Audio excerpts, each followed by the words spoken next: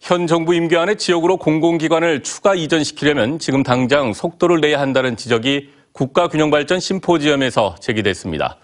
준비 기간만 2년 이상 걸릴 것으로 예상돼 더 이상 미룰 수 없다는 겁니다. 이두원 기자입니다.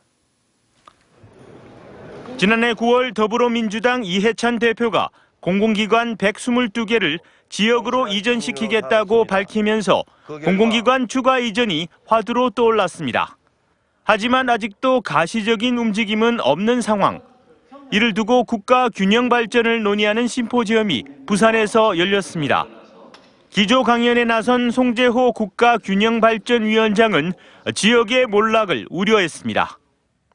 이 예비 타당성 제도의 예외적인 사항들을 2차, 3차, 4차 이렇게 하지 않으면 나라 문 닫아야 된다고 생각합니다.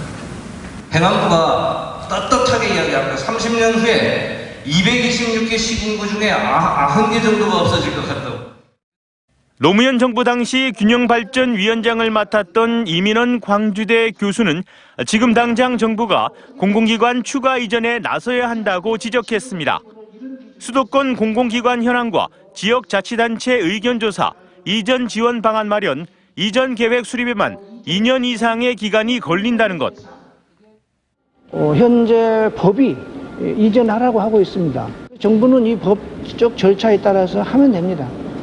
그러니까 그렇게 해야 되고 어, 만일에 이게 지지부진하게 된다면 사실상 직무유기죠.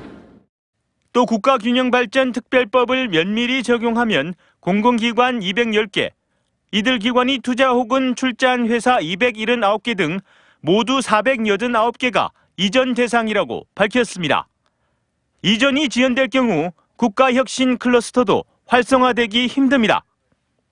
어, 지역에 있는 혁신 자원뿐만 아니라 중앙에 있는 공공기관이나 아니면 혁신과 관련되어 있는 어, 국책연구소 등이 이제 이전을 해서 지역과 함께 새로운 비즈니스 모델을 만들어 나가도록 노력해야 할 것 같습니다.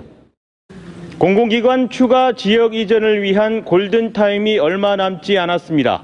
국가 균형 발전을 이룰 수 있도록 정부의 신속한 결정이 필요해 보입니다. MBC 뉴스 이두원입니다.